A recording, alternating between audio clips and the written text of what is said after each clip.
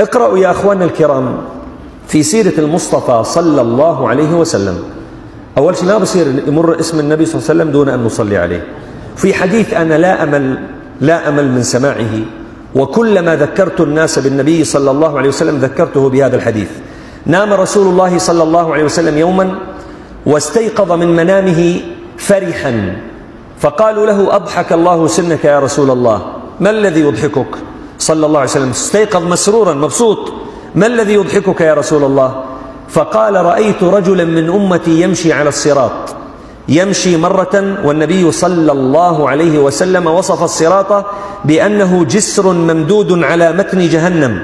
يعني المسير عليه أمر صعب جدا ولولا لطف الله لما استطاع أن يمشي الإنسان عليه خطوة واحدة.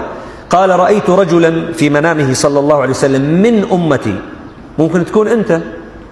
ممكن تكون أنت أو أنت أو أنا رجلا من أمتي يمشي على الصراط يمشي مرة ويكبو مرة ويقف مرة ويمشي مرة بس بده يخلص ما عم يحسن يصل إلى الطرف الآخر ثم يكبو مرة ثم يمشي مرة. قال فجاءته صلاته علي فأقامته على الصراط حتى أدخلته الجنة. معنى ذلك مو بس الصلاة التي نصليها تدخل الجنة الصلاة على النبي صلى الله عليه وسلم هي التي سوف تأخذ بحجزك ويدك لتدخلك إلى الجنة.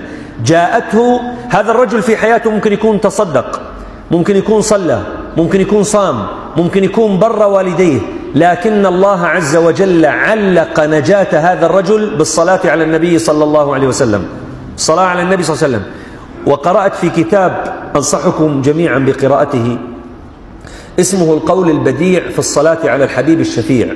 صلى الله عليه وسلم للإمام السخاوي. ذكر السخاوي في هذا الكتاب ثلاثا وسبعين فائدة بأدلتها من فوائد الصلاة على النبي صلى الله عليه وسلم.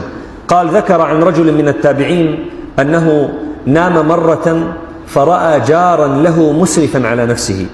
ظاهر الرجل الله يتوب علينا جميعا كان يشرب الخمر أو مسرفا على نفسه بالمعاصي فقال له ما فعل الله بك؟ قال غفر الله لي. قال له بما؟ قال له ذكر النبي في مجلس فرفعت بالصلاة صوتي فقلت صلى الله عليه وسلم. فغفر الله بي لي بذلك لأن من سمعني صلى على رسول الله صلى الله عليه وسلم.